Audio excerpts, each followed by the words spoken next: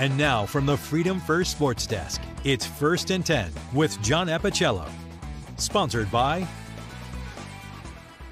Welcome to another season of First and 10. And yes, I'm having deja vu all over again. I don't think we can go wrong channeling Groundhog Day. So, this is one time where television really fails to capture the true excitement of a large squirrel predicting the weather.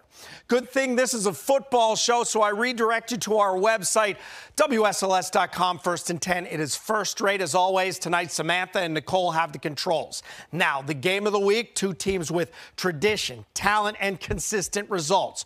Both playoff teams in the spring. 10 Sports' Eric Johnson was in Brookville, where all eyes were on the Patriots' offense, but it would be the Bees' offense that delivered the sting.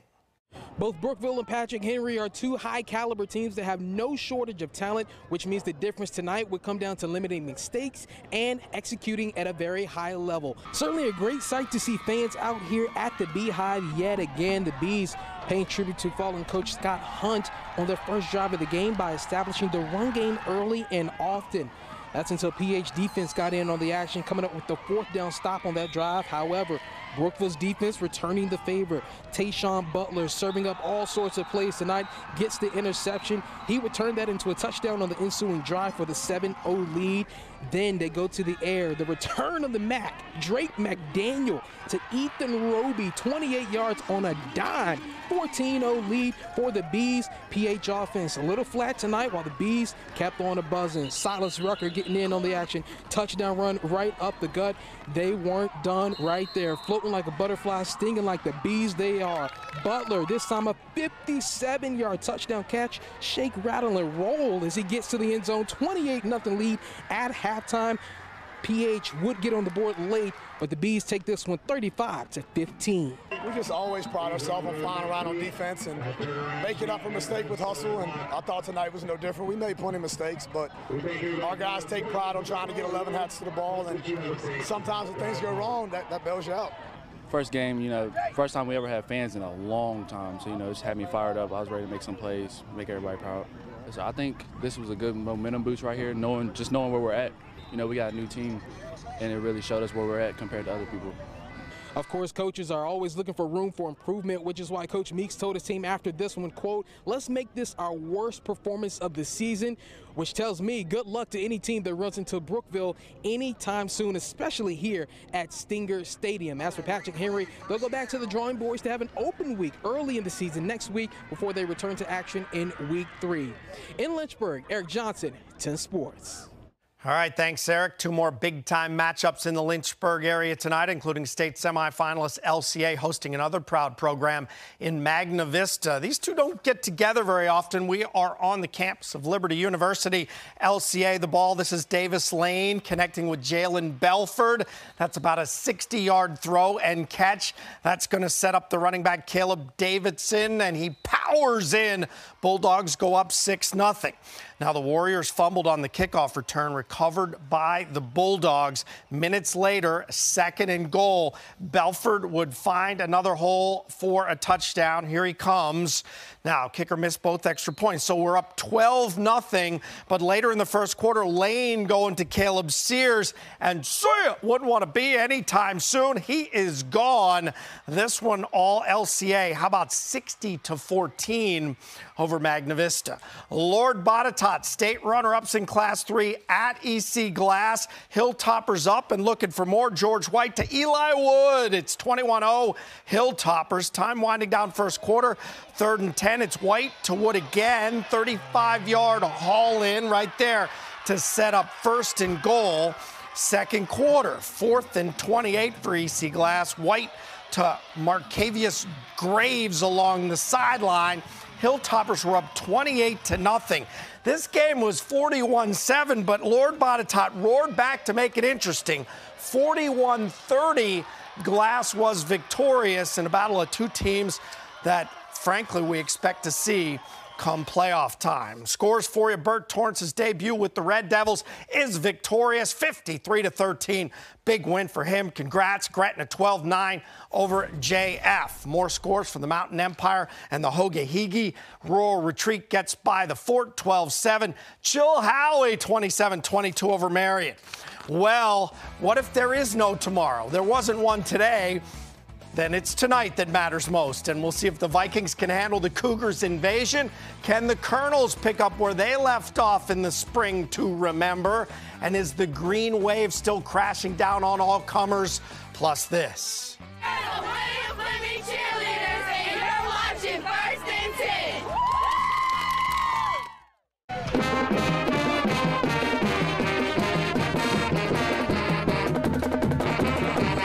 And thanks to the Highlanders for the tunes, and we'll check in there in segment three. But first, the Vikings of Northside taking on a rejuvenated Pulaski team under coach Mark Dixon. Keep in mind that Scott Fisher would get it done as well tonight. Drawn first blood, Nathaniel Funk off the corner, special teams play, blocking the rock. That's going to set him up in the red zone. First and goal, Vikings. Cameron Abshire diving in, north side up early, seven to nothing. But Mark Dixon's gang's going to strike back. It would take a little while for them to get warming to the task, but Cam Cooper hits senior J.J. Gully on the slant, and J.J. now the second most famous J.J. ever in the city of Roanoke with the touchdown right there. We know who the other guy was. He played basketball. 7 7. The Vikings led 10 7, but Pulaski's defense stood strong and they roared back 20 to 17. The Cougars with a big win in Roanoke this evening. How about Liberty at William Byrd? Liberty's rushing attack looking dangerous and polished. Tanner Stanley pulls the dive, fakes the pitch, rambles inside the five to set up a touchdown. It was 6 0. More Minutemen. It's Stanley. Little counter action. The senior knows what to do with it, the need for speed, and he is off the pylon and in for another touchdown. But Byrd has an answer. Sophomore Israel Hairston, direct snap. He's hunting the goal line and he's finding it right there. But the night belongs to Liberty. Jordan Steele had a nice game, including an interception. Liberty 33 to 28. Two programs on the rise. Bassett and Franklin County got together. Bassett 42 to 25. And this game was flipped. So Staunton River was supposed to be away. They ended up being home. And you know what? They cashed in in front of the home crowd. Nice. 48 to 16, which brings us to a couple more teams that had playoff runs.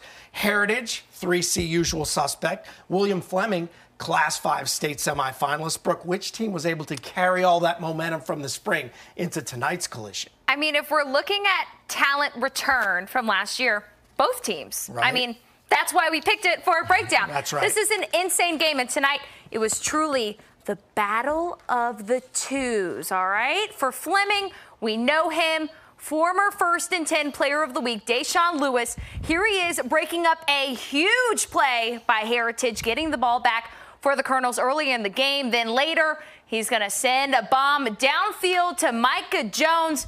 No surprise that Lewis still has gas in his tank. All right, and number two for Heritage coming up is Zach Steele. Appy, I may have finally found a player faster than you. That's not hard to do. Well, but okay. I was going to say that's saying something. Former cross country runner over here. This kid has jets. He's scrambling for a first down. Actually, let's rewind that. He is hurdling for a first down. Very nice. Athletic. And again, grabbing a touchdown to put Heritage up by 13. Both teams with impressive offensive output, but the Heritage secondary adds to the star of approval. Pioneers get the win on the road, 33 to 18. It was about a battle of attrition. Um, it's hot, you know, and I think both teams not having a scrimmage, you're one, you're one scrimmage down in terms of conditioning. Um, you know, I think in the second half it's about who wants it more. Um, and we just made a little bit, you know, we just made a couple more plays, but it's not pretty. But your first game's never going to be pretty. And both teams didn't have the one scrimmage, so you know it's a different year. You got to adapt and overcome. Uh, we're happy to come out with the W, and uh, you know that's a very good football team. And I give credit to Coach Lovelace and, and, and William Fleming. All right, and the test continues for Heritage. They face Dinwiddie next Friday. Back to you, Appy. All right, thank you much. If Salem is looking for a program that has its tradition, then look no further than Martinsburg, West Virginia eight 3A state titles since 2010. They welcome them in tonight. So let's strike up the band and get ready. Martinsburg's running back is Xavion Kendall. He's taken it five yards to the corner on the quick pitch, and he is in. Some nice blocking right there. It's 7 0. Salem's Cam Leftwich is going to answer. Watch right here as this is Salem football. Hat on a hat, and there's some room. Off tackle, 43 yards to the three yard line. Leftwich would add the touchdown to make it 7 7 as he powers in right here. But the Bulldogs, Murphy Clement, a three yard run right here, and just uh, offensive effort. Their offensive line getting it done. 14 7 Bulldogs lead. Salem was knocking at the door and couldn't punch it in. That might have changed the momentum of this game. Martinsburg 35, Salem 21 tonight. How about Hidden Valley at Cave Spring? Yeah, the rivalry renewed at Bogle. Sam Dragovich here going deep to Braxton Dunnings. So alone he could use a dating service. That is ridiculous. Great play and a touchdown. Hidden Valley, though, uh, loses the football right here. Cave Spring, some nice defense. Tyler Poff is on it for the recovery. And Coach Leftwich could only watch Cave Spring getting it ready. Landon Altizer here, long run for the touchdown. Misdirection right here to cash that thing in. But the same combination again. Dragovich to Dunnings again. And there he is, all alone again. 14 6 the score. It ended up 14 12. Hidden Valley is victorious. More River Ridge scores for you. Giles over Blacksburg 28 to 21. Christiansburg and Floyd will happen tomorrow. One of the great underpublicized teams of the past five years around here, Narrows. They didn't allow a single point during the spring regular season. Tonight they open at Auburn, and they were in control throughout that game. Auburn students showing up. Auburn trying to get something going. Landon Mars to Brady Hale. Nice play right here. A little bit later on, Mars doing it again, this time to Isaiah Keith. Nice play, Auburn in business. But Narrows bringing the defense like they always do. Watch Mars passing, and uh, how about Max McLaughlin with the interception for Narrows? Narrows pitches yet another shutout, 26 to nothing. Rockbridge County at Parry McCluer as we got another rivalry renewed. Fighting Blues taking the field, and here we go. Parry McCluer's Brennan Shiley taking a shot, but finds Dylan Kreitzer over the middle uh, to pick up a third down conversion. Later in the drive, this is Austin Higgins. Blindside sack, forced fumble, Peyton Matz recovery, keeping the game scoreless.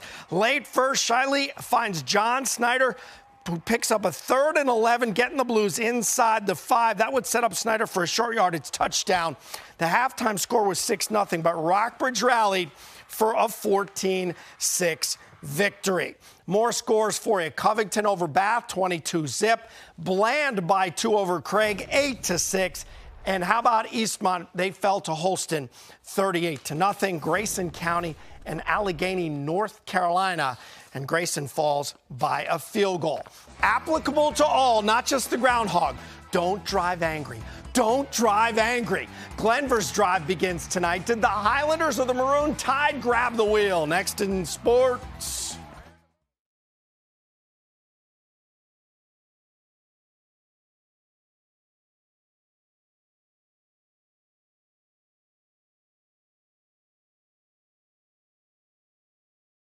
Oh, it's okay. No one ever types them in. Oh, it's okay.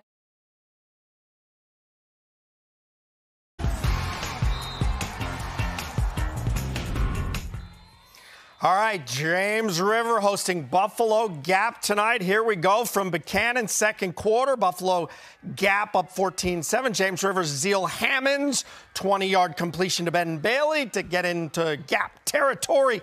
End of the first half, Buffalo Gap trying to get a quick score. Curtis Lowe deep to Luke Tinsley, wrestling the ball away from the DB right there. Spectacular catch 14 7 0, the halftime score. Third quarter, 57 yard video game like touchdown run by Bryce Hildebrand. Look at him book the move and groove. And I don't see him hitting anybody, so he's not. A, well, he could be the rolling ball Butcher Knives, but he's not.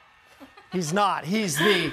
He's officially the uh, video game right. run of the week. Right. 30 to 7, Buffalo Gap is victorious. All right, Brooke joins us again. It feels like the Three Rivers always produces a Class 2 contender. Tonight, couple had challenges from Class 1 programs. We know about Glenvar, we know about Radford. Both of them actually had to play good games tonight. Yeah, and, you know, in our camp tour, Glenvar said that they had low numbers, but it certainly didn't seem to hinder the talent. Okay. Tonight, they take the field for home opener against the Maroon Tide. Galax's quarterback Ian Ashworth keeps the ball, goes up the middle, and then makes a good cut and sprints in for the 32-yard touchdown at 7 nothing. Glenvar is going to get on the board early in the second quarter. Quarterback Aiden Walk drops back and fires this pass to Jackson Swanson, wow. who takes it in for the 70-yard touchdown. Both teams tied 7 to 7. The Maroon Tide going for it on fourth down. Quarterback Ian Ashworth takes a few steps Ooh. back, but is taken down by Nicholas Woodson. The Highlanders get the ball back. That would set them up for this touchdown. Walk looks and passes the ball, but it's tipped but lucky for him, Dagan Williams was Johnny on the spot and takes it in for the 30 yard touchdown. Glenvar beats Galax 28 to 14.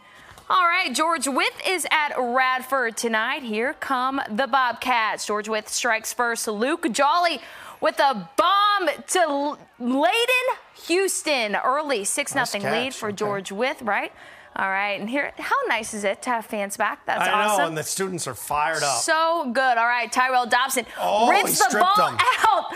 And it's a Radford ball. That's some nice defense. Now yeah. it's time to cash it in. Marcel Baylor calls his own number with some fancy footwork here. One juke finds the pylon. More Radford on the kickoff return.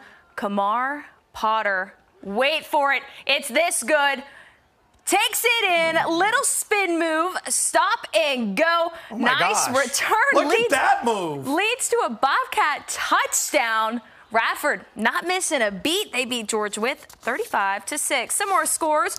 Roanoke Catholic beats Alleghany oh, well, 43 around, to okay. 6. Yeah, it was Alleghany. The Mountaineers won tonight. And then Carroll County, Patrick County postponed to October 15th. Thank you very much, Brooks. Some good work right there. And I love the traffic directing of the quarterback there. He was telling guys where to be. All right, scores for you. Tunstall over Dan River 26 14. Appomattox and Buckingham County, they were postponed. Chatham all over Prince Edward and Central Lunenburg over Altavista 41 to 13. Couple more for you. Halifax, the Comets get it done 42 to 8 and North Cross all over Suffolk tonight 31 to 6. All right, it's a presentation 58 years in the making. Wendell Scott's family will finally get a trophy for that 1963 victory at Jacksonville. Going to happen at the Coke Zero 400 at Daytona this weekend. Scott is the only black driver to win a NASCAR race at the sport's highest level. Historic moment wasn't celebrated in the way that it should have been. It is certainly one of the most iconic and monumental moments in American stock car racing history, but dare I say, even motorsports history. This will lay a, a really solid foundation to build on. Not saying they don't have a foundation now, but of course, this is the one thing that uh, you know we get it right. You know, um, I used to say, when you when you learn better, you do better. Indeed, and that is a long time coming. Year 16 of the Appy version of First and 10 underway. Twas a fine show indeed, folks. We will see you next week.